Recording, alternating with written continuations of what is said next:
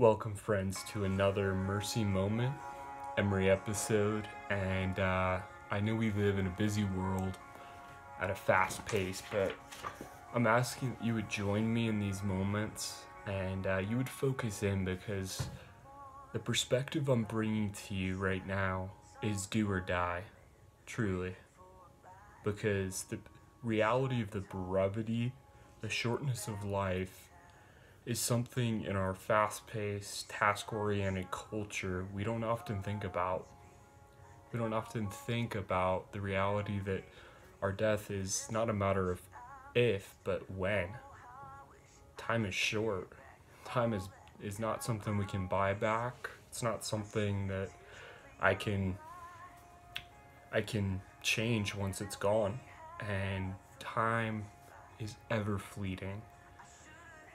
This month is an important month to me. The month of March is a time of reflection as eight years ago, come March 27th, I almost died. Moderate traumatic brain injury, full life support, medically induced coma, lacerated spleen, bruised lungs, and 100 stitches through the side of my face. T-bone impact beyond the passenger side, Land Rover 50 miles an hour.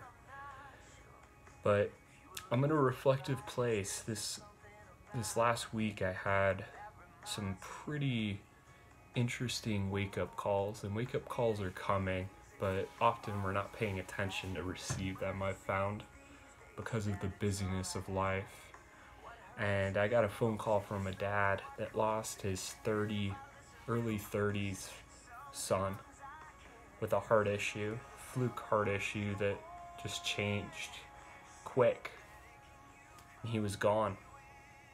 And the family's left to pick up the pieces. A mother and father losing their son. Difficult stuff. And then uh, getting word that at my work, someone in their 30s also died the same same week. Heart issues. Age is no guarantee that that I still have time. Each day is a gift and before we know it, friends, it's all over. So let's take these moments, let's take a few minutes and let's reevaluate where am I going and what is it is what I'm doing really that important? Is what I'm focusing my energy, my time, my resources in light of how brief life is?